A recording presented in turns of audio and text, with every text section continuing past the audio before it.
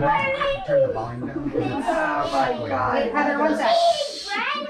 Mommy, is Quentin really eating bread? Guys, On March 28, 1944, I sent a telegram to share the happy news. You have a son, Albert Raymond. Mother and baby are doing fine. Four years later, Deborah Lynn joined the family. We lived in the apartment on Marsden Street, which I purchased as an investment. When it was time for Denise Ann to join our family, we made the huge move across the Delaware to Pennsauken. Being a mother was what fulfilled me in life. As a side note, I remember when Queen Elizabeth was inaugurated in 1953. Aww.